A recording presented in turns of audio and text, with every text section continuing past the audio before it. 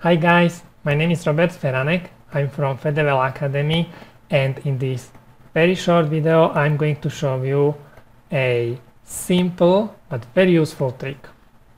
We discovered it by accident, maybe you don't know about this. So the trick is that if you select a segment and then when you press tab it will select all the segments on uh, the active layer and when you press tab again it will select all the segments of the track.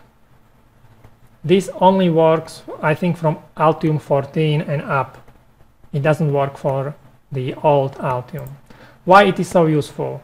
Because you can simply delete track on one layer or if I split it you can simply delete whole part of the track behind a point like this. Tab tab.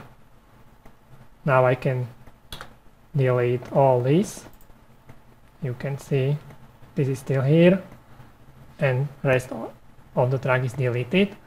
And also it is useful if you would like to measure length of uh, the track on one layer only. So I select it press tab I go to reports, measure selected objects. And this is only the distance on this layer. Very useful.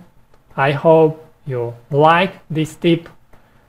Thank you very much for watching and uh, see you in the next video.